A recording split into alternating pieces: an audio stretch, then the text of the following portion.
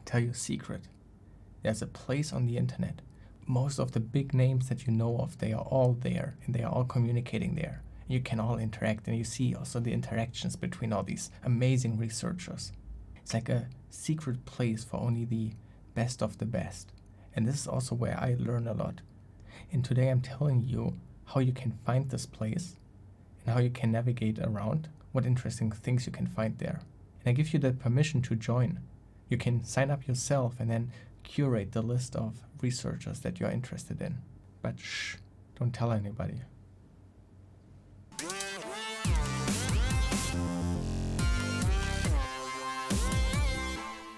Let's open Twitter. Discussion about responsible disclosure. I've been there, but might be interesting to you. This is a pretty fun uh, Twitter account uh, by a friend of mine.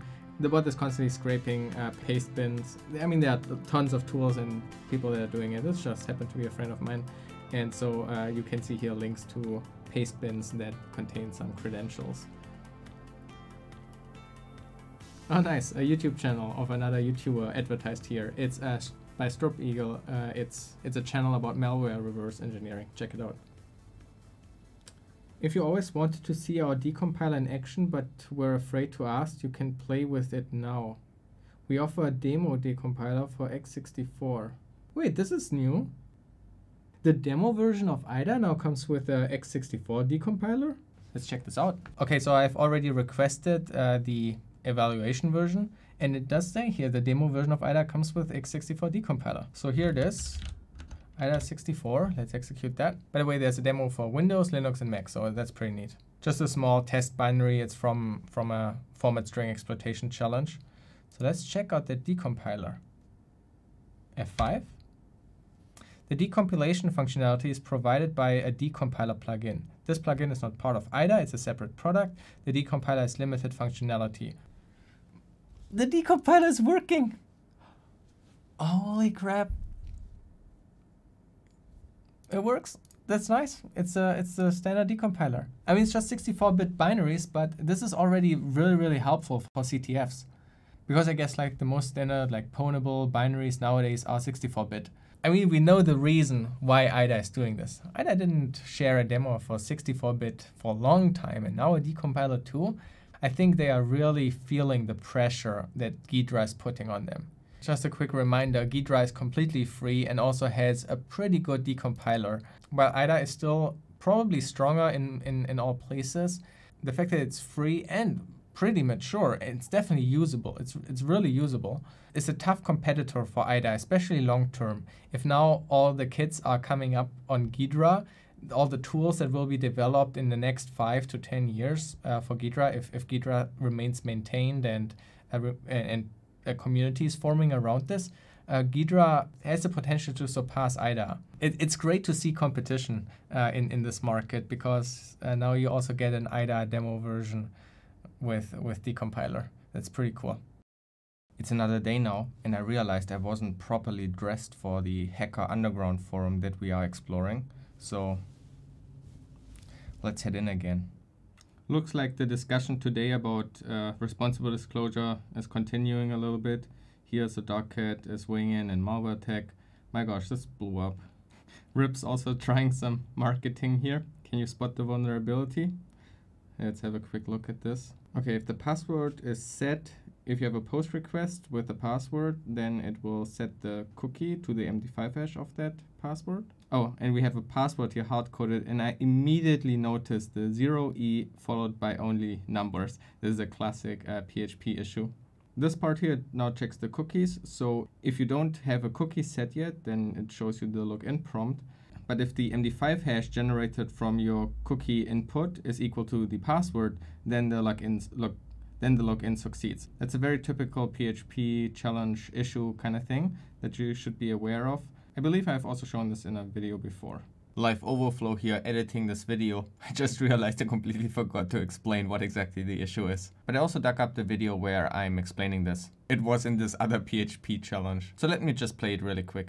PHP has type juggling, which means that a variable's type is determined by the context in which the variable is used. And so, for example, these two different strings evaluate to true. Because based on the context, they are automatically converted to numbers. And so those are both zero. And what can happen now is that if for some reason two different hash strings start with 0e followed by only numbers, they would evaluate to true. This is a very typical CTF PHP challenge, so I thought maybe we have here a similar issue, because equal equal in PHP means equal after type juggling, while equal equal equal means identical, and the type has to match too. There we go, educational YouTube channel. But I also forgot to mention that obviously people were responding to that tweet with the solutions. So that's again another example of what you can learn if you are just browsing Twitter and coming across something like this. If you didn't know about PHP type juggling, you would have found the explanation and the solution in the responses. I guess just some weird, interesting fun facts. 95% ATM swipes run COBOL code, and 80% of transactions run on mainframe, and there are I don't know, is, can this number be right? 220 billion lines of code only in COBOL? Well, that sounds crazy, but I'm sure a lot of the financial stuff is running on mainframes and COBOL. That's like IBM stuff. I guess something like this is also always interesting and fascinating. It's about Paolo, the man who bought Hacking Team, and it's here new marketing material of the company that is building surveillance tools and sells this product and service to agencies around the world. Stuff like this might always feel weird, but that's just reality, okay? So this kind of stuff exists. It would be naive to believe that there wouldn't be implants that you don't know about for various operating systems. And probably they have exploits or other means of delivery for all of them too. Yeah, the, the real world sucks, I guess. So in IT, you either know something or you don't and everything you know seems trivial and easy and you feel like everybody else should know it. So here, for example, is somebody who I guess has never heard of NaCl or PNaCl before. And I guess this person is surprised that there's a feature to run C and C++ code in browsers in some kind of sandbox. That might sound weird, but yeah, stuff like this exists. There was also a CTF challenge at, from the Google CTF uh, related to PNaCl, so maybe check that out.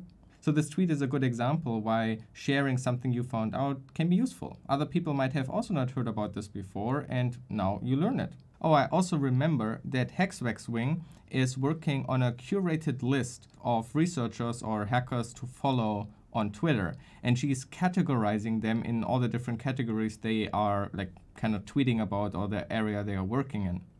It's unfortunately currently not available, but there's a talk about it uh, by her that you can find on YouTube.